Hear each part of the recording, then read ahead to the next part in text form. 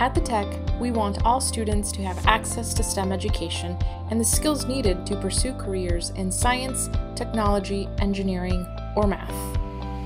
And that is why we place a special emphasis on computational thinking. We believe unplugged activities build students' critical thinking skills. We also understand that there are many tools that educators and students can choose from when it comes to creating a computer program. So now we're going to use our computational thinking skills to understand how the continents might have moved over time. That's present day. Mm-hmm. So then how might the continents move if we went backwards one step, knowing that that's what they look like a little bit earlier? Closer together. This one goes like that. We believe that it's important to choose the right tool for the problem that needs to be solved. We also like free programs and tools because it allows youth to have access. We're actually going to use our CT skills to write a program to understand how the shift in the continents happened over time.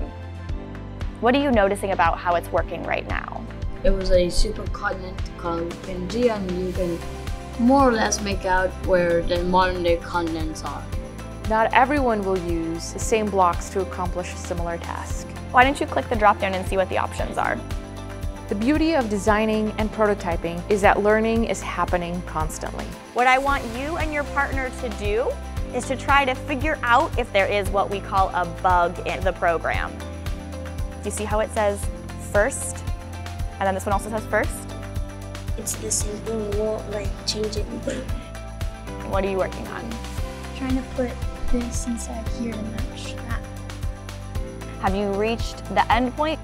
We have to do this two more times. Now while we're watching your program, I want to ask, how did you figure out which one went where in this order of the blocks? We were looking at the paper and we saw like the like the names of it. Yeah, They, it separates. it, separ- it separates little by little. It's important for students to understand that they are creating a program that will be used by people. So they need to think about who would be affected and who they need to keep in mind when designing. So while you're testing code, something you want to think about is if there's any feedback you want to give or if you're noticing any bugs in the code. I noticed that as I move the time period, it doesn't change.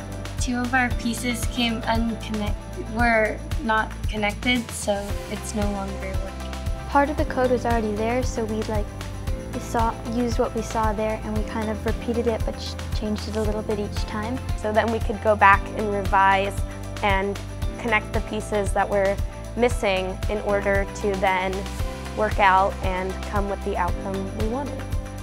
How is your program going? It's going alright. All right. What's supposed to happen to the continents over time? It's supposed to like just separate from each other because that's what we saw on the pictures. What CT skills were you using? Remember those four big words we shared earlier? Which of those do you think you were using to figure this out? I think I was definitely using um, decomposition because I broke this apart to find it, and I was also using uh, a little algorithm.